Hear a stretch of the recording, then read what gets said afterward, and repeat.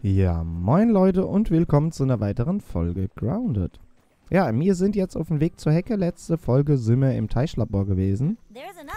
Und mal gucken, wie schnell wir bei der Hecke durchkommen. Sollte recht einfach und schnell funktionieren, weil ist auch noch nicht so heftig. Schwer wird es dann mit dem Assistant Manager. Der könnte so ein bisschen mehr Probleme verursachen. Aber das kriegen wir auch alles noch hin. Guckt euch mal die kleine Milbe an, die normal mit 1 bis 2 Schlägen eigentlich weg ist. Die könnte uns ohne Probleme platt machen, das Mistvieh. Aber... Oh, hat kein Amulett für uns. Wäre ja mal zu schön gewesen. Na egal. So, dann ab zur Hecke. Ja, die Forschungsstation, ja, das ist die unten bei den Larven in der Höhle. Müssen wir auch irgendwann noch hin. Kriegen wir alles noch irgendwann hin. Äh, ansonsten einmal ab zur Hecke. So, da werden wir dann später eh nochmal hin müssen, weil wir brauchen ja noch die Mutterspinne.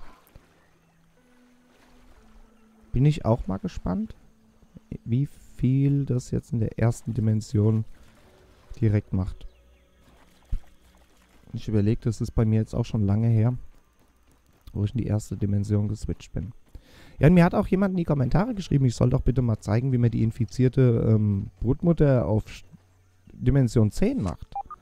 Ähm, das werde ich nicht zeigen, weil ich werde sie auf Dimension 10 nicht machen, weil die da unnütz ist. Also die braucht kein Mensch mehr auf der Dimension. Also das Letzte, was man benötigt, ist die Dimension 4, um nochmal ähm, die Waffen von ihr zu bekommen. Aber äh, Dimension 10 mache ich die nicht. Also ihr dürft sie gerne machen und äh, ja, viel Spaß dabei. Ist euch überlassen. Aber da werde ich kein Tutorial machen, wie man die... Die macht keiner mehr in der 10. Jo, ich sollte hier oben mal die Pusteblume ausrüsten. Das hätte jetzt wieder schief gehen können. Aber ich glaube, da oben liegt nichts. Kein Zahn und nichts diesmal, ne? Naja, hätte mir schon angezeigt bekommen. Okay, dann rushen wir hier mal ganz schnell durch. Hier sind Punkte, die brauchen wir nicht. Gehen wir da erstmal rein.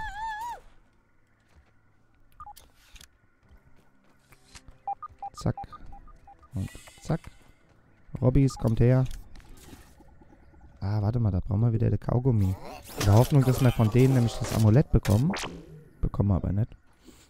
Weil die verlieren ja ein ganz, ganz, ganz, ganz, ich komme noch nicht immer auf den Namen von dem Amulett, aber ein ganz seltenes Amulett, das ist diese Sicherung, die ihr auch äh, beim großen Skep einlegt. Die gibt es nochmal als Amulett, aber das ist so das seltenste Artefakt, was es überhaupt gibt hier im Spiel. Warum kann ich den nicht aktivieren? Ach, die Radarstationen bleiben hier aktiviert. Okay, hätte ja sein können. Gut. Also sind wir hier acht durch. Und, ja, Punkte wollen wir keine. Kriegen wir hier mehr wie genug. Also Punkte ist hier echt überhaupt kein Problem mehr. Hm. Ja, jetzt muss ich wieder die Pusteblume ausrüsten. Nein, nicht darunter.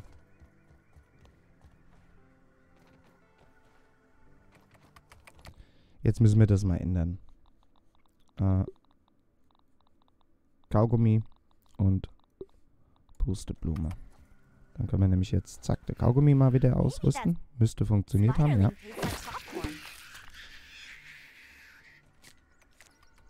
Und halt wieder alles looten, mal was trinken. Wieder so blöde Kringel. Ach komm, Spinnchen, lass mich in Ruhe. Außer du bist lila. Ne, bist du nicht, also hau ab. So schnell sind sie weg.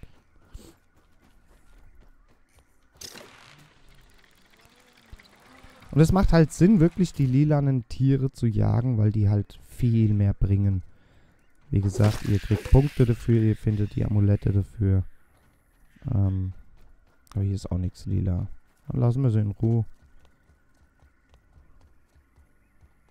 Müssen ja nicht alles töten.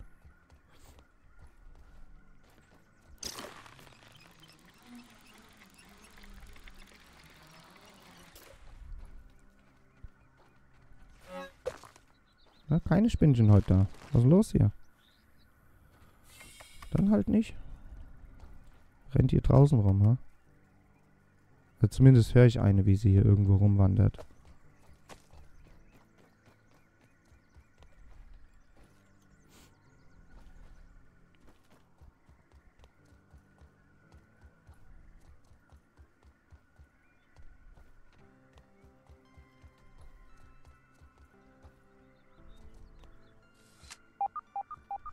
Hier ist irgendwo noch ein Scap.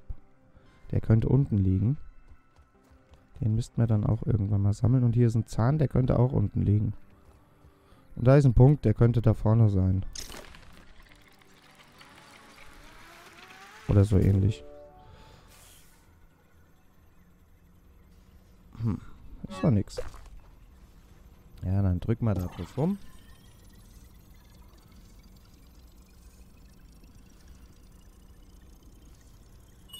Vorteil ist halt, wenn man es schon so oft gespielt hat, wie ich das jetzt mittlerweile äh, schon gezockt habe und durchgespielt habe. Man kennt halt alles auswendig. Man weiß genau, wo man hin muss. Man muss nicht mehr suchen. Man rennt eigentlich nur noch durch, macht Blatt, wenn man das Blatt kriegt. Ähm da müssen wir einmal dran, dass sie aktiviert ist. So. Na, alles mit, alles mitnehmen. Wir hinterlassen den Viechern hier überhaupt nichts. Haben sie nicht verdient, die Mistviecher. Hier ist schon mal keine Spinne drin. Das ist schon mal gut. Jetzt brauchen wir mal die hier. Bams. Und einmal rüber. Und dann nehmen wir die hier. Ach, da unten kämpfen sie mit dem Robo. Macht mir die Robos nicht alle platt. Ich brauche das Amulett von denen. Wäre ja mal cool, wenn ich es erreichen würde. Weil das Amulett habe ich noch nie bekommen. Muss ich echt so sagen. Ich weiß, dass es existiert, aber es ist halt das seltenste Mittel überhaupt hier im Spiel. Oder das seltenste Amulett hier im Spiel. Wäre ja mal schön, wenn man es kriegen könnte. Da ist ein Punkt. Da müssen wir oben drauf laufen. Okay. Dann gehen wir erstmal darüber. Mehr. Na, vielleicht macht es auch mehr Sinn, mit einer anderen Waffe drauf zu gehen. Damit die einfach, äh, damit die Chance besteht, mehr rauszuholen. Weißt du, wenn ich 20 Mal mit der Waffe draufklopp, ist eher die Chance, dass ich von denen was bekomme, anstatt wenn ich nur mit einem Schlag drauf hau. Wo mir der eine Schlag halt viel lieber ist, weil, äh, ne? Easy going. So, dann haben wir es doch hier auch gleich. Die können ruhig mit einem Schlag abhauen.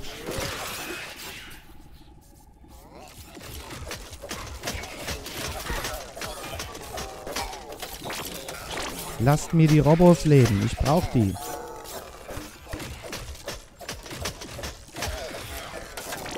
Aber nix. Nix gekriegt. Ja, haben wir noch eine lila, eine kleine. Ja, die kann er zaubern. Oh. Eigentlich nicht. Oben steht nichts dabei.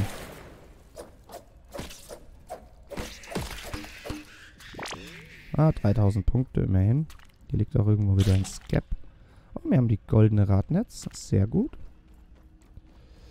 Dann Leder. Oh, den nehmen wir natürlich auch mit.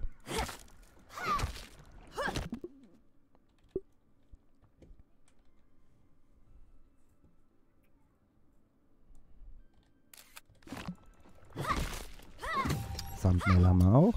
Läuft doch die ganze Geschichte. Nehmen wir auch gleich mit. Hier ist noch ein Scap. Entweder oben drauf oder unten drunter. Interessant. Jetzt fehlt uns noch ein Code-Schnipsel. Ein Passwort-Schnipsel. Uh, hier nehmen wir die natürlich mit. Ah, die Fäden könnten wir eigentlich auch mitnehmen. Dann müssen wir sie nicht herstellen. Ansonsten Saft nehmen wir noch mit. Und über uns ist ein Punkt. Jetzt brauchen wir aber die Pusti.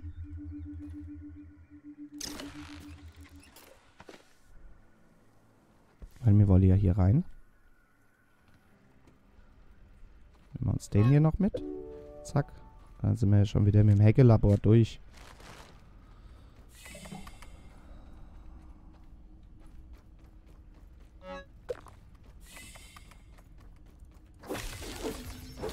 Könnten wir nochmal gucken, dass wir nach oben kommen.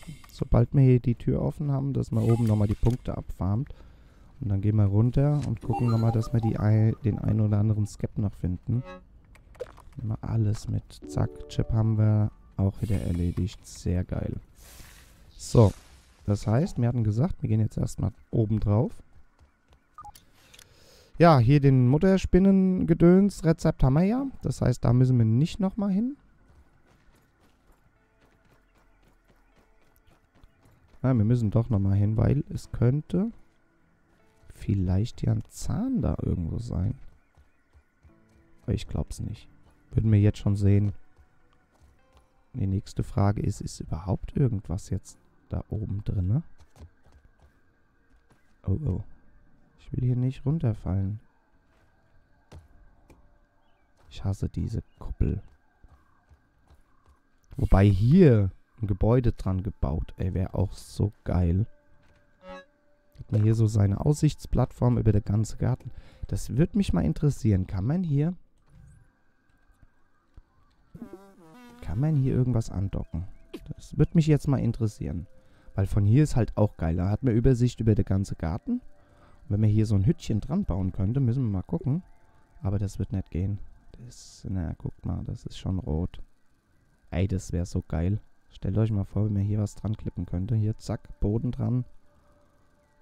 Hier, schön passend. Und dann hier die Base dran. Das wäre schon geil. Aber wir können doch gerade, wenn wir eh hier gerade stehen, mal kurz darüber flattern und uns das hier mal angucken. Ach, guckt mal an, da liegt ein Zahn. Wissen wir auch schon, wo der nächste ist.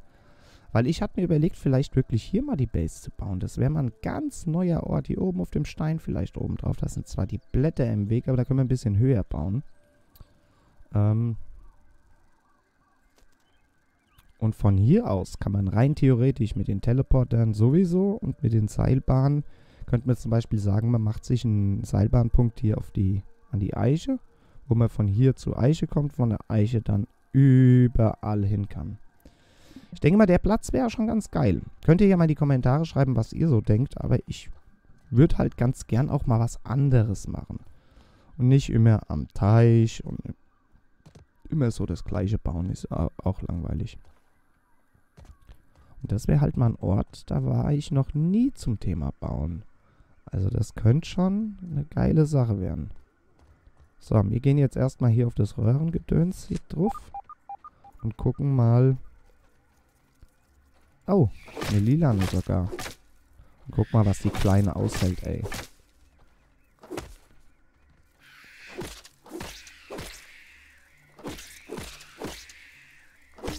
Aber lieber kommen mir die kleinen Viecher gerade noch entgegen in lila, anstatt in lila eine Wolfspinne oder so. Obwohl die halt auch schon gut Schaden machen hier, ne? So, jetzt müssen wir erstmal rausfinden, wo der Punkt oben drauf war. Oh, da oben. Okay, komme ich da? Ja. Und der Skep müsste unten liegen. Den haben wir unten irgendwo liegen gelassen, wahrscheinlich beim letzten Mal. Ja, das kriegen wir ja auch gleich hin. Dann doppeln wir alles mal ab da unten. So, also hier hatte man erkundschaftet. Ist meiner Meinung nach als Base eine ganz geile Sache. Hier kriege ich noch einen Punkt angezeigt. Frage ist nur... Ah, okay, ich habe ihn gesehen. Haben wir auch. Ansonsten müssten wir hier soweit... Hier, hier wird mir ein Scap angezeigt. Der müsste...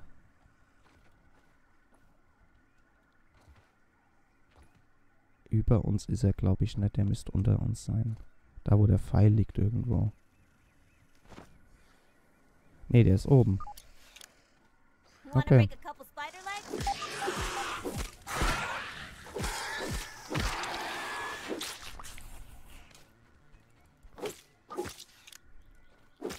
Müssen wir doch nochmal hoch.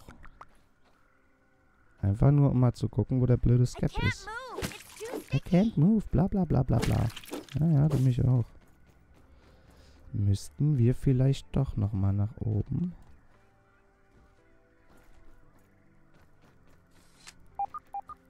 Hier wird mir ein Punkt angezeigt.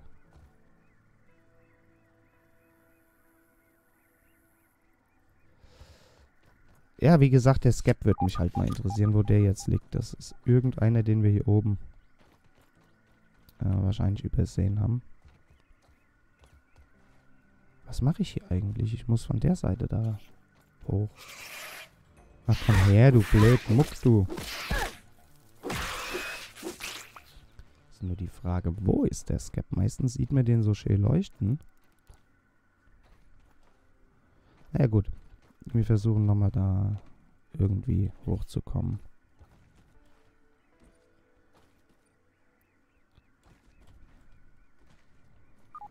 So, jetzt wird er mir wieder nicht angezeigt. Verflixtes Zeug noch immer. So, jetzt gehen wir hier nochmal... Hier wird er auch nicht mehr angezeigt, also der muss dem einen Hauptgang sein. Jetzt gehen wir mal hier.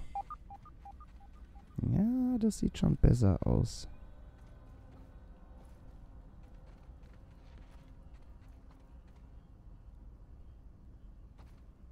Der könnte hier über uns liegen.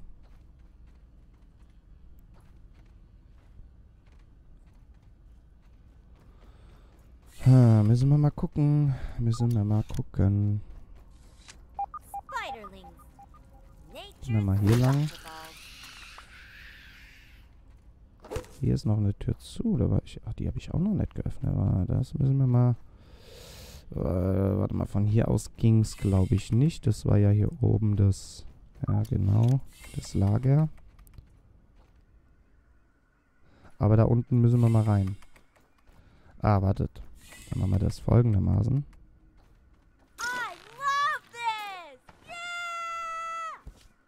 Dann machen wir uns die Türen da mal auf.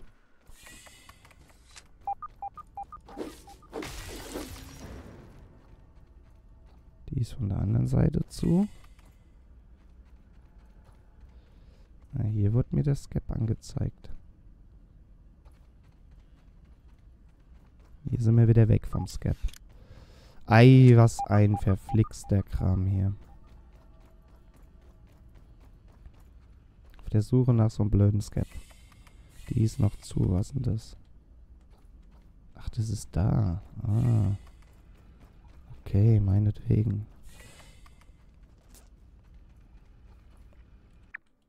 Jetzt machen wir das mal kurz so. Entweder über mir oder unter mir. Ich glaube, über mir müsste. Der könnte oben drauf liegen. Gehe ich stark davon aus. So, machen wir das jetzt mal so. Wo ist mein Marker?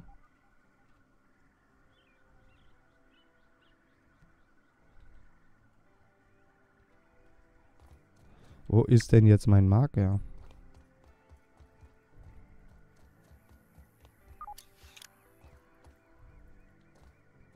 Ist der Skep doch unten? Hier wird er angezeigt. Hier wird er stärker. Hier ist er jetzt ganz stark. Nach oben ist er nicht, also muss er hier in der Röhre. Ey, das kann doch gar nicht wahr sein.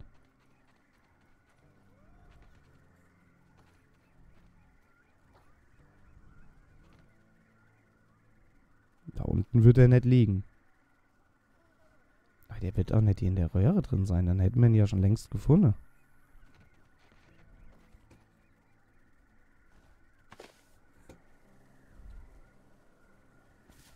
Och, nö. Ja, dann Lassen wir den Skep Skep sein.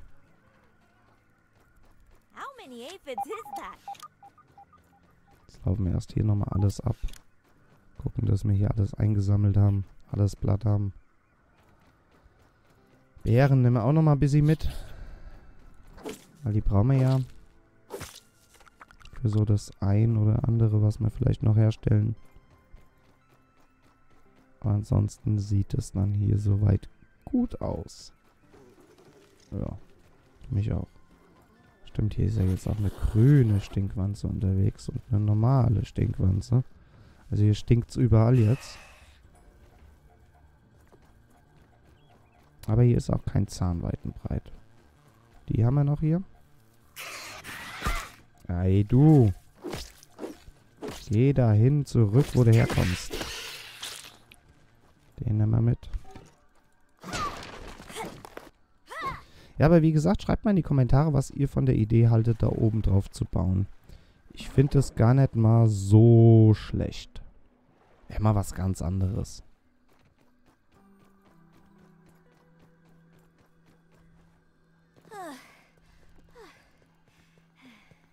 Oh gut, dann wären wir mit der Hecke durch.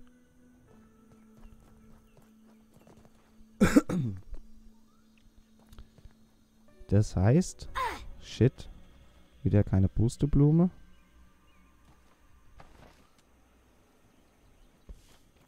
Jumpen wir mal schnell hier durch. Oh, hier wird ein Zahn angezeigt. Äh, ist nur die Frage, wo.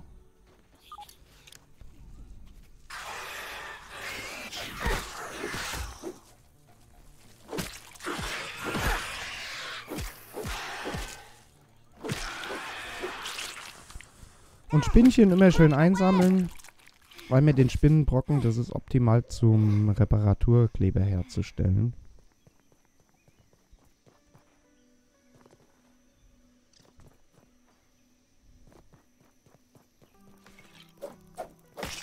Ja, die sind noch bei einem Schlag. So, dann gehen wir erstmal schnell zum Burgel. Einmal zum Burgel, da wird gebürgelt. Was haben wir denn so interessantes? Äh, nichts. Okay. Also wir haben nichts Interessantes gefunden. Uh, Alles nur Schrott. Hätte ja mal was Interessantes sein können.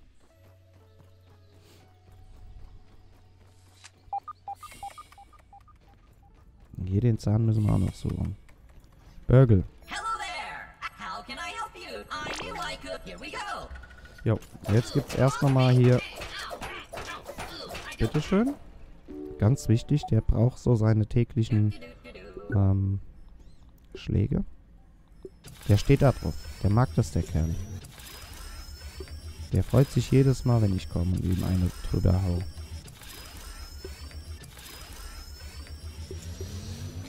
Äh, Sturzimmunität und Durstrate. Ja, wir machen es noch nicht klein. Wir nehmen es einfach nochmal mit.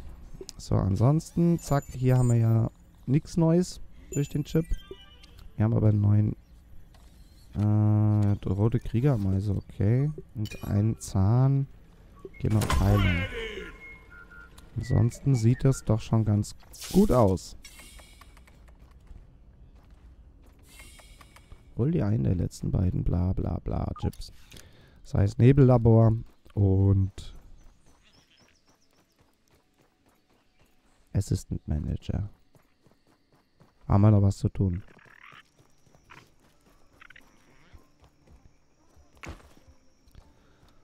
So, und ihr seht, es geht eigentlich recht schnell voran. Das heißt, wir könnten auch ziemlich schnell in die nächste Dimension switchen. Aber das ist nicht Sinn der Sache, weil alles, was wir jetzt hier nicht vorbereiten, die Waffen nicht hochleveln oder, oder, oder, könnte uns zum Verhängnis werden dann in den nächsten Dimensionen. Deswegen ist wichtig, hier jetzt alles farmen, was man farmen kann. Und auch gucken, dass wir dann die Waffen und alles auf die Stufe 15 so langsam hochkriegen. Ja, nicht ganz 15, aber zumindest einen großen Teil könnten wir schaffen. Äh, selbst die muss noch zwei Stufen hoch. Mindestens zwei, weil da, die brauchen wir für einen Assistant Manager. Wobei mit der Axt könnten wir den eigentlich auch ganz gut klein kriegen. Sollte funktionieren. So, dann da noch hin, zack. So, das sieht schon mal gut aus. Dann reparieren wir noch mal kurz unsere Axt. Wichtig, wichtig. Und hauen noch mal neuen Reparaturkleber durch. Was haben wir gesagt? Spinnenbrocken. Spinnchen kriegt man immer mehr wie genug. Da sieht es doch schon mal ganz gut aus. Das heißt nochmal schlafen gehen.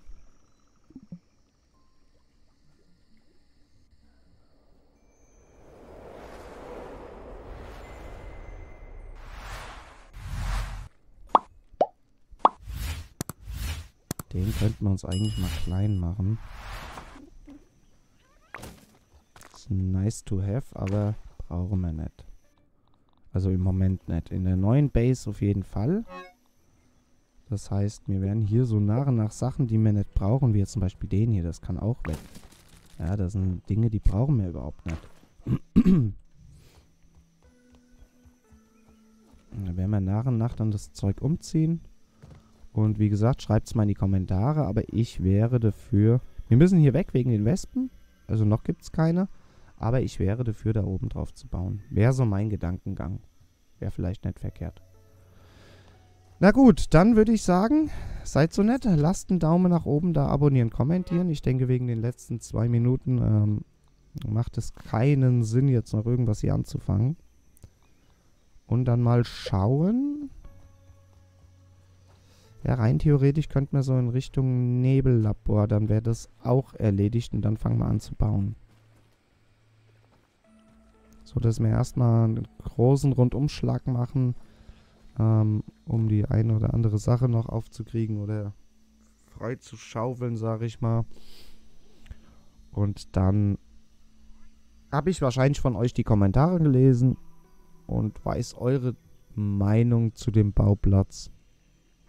Und dann gucken wir mal. Gut, also würde ich sagen, sehen wir uns morgen im nächsten Video. Also bis denn und tschüss.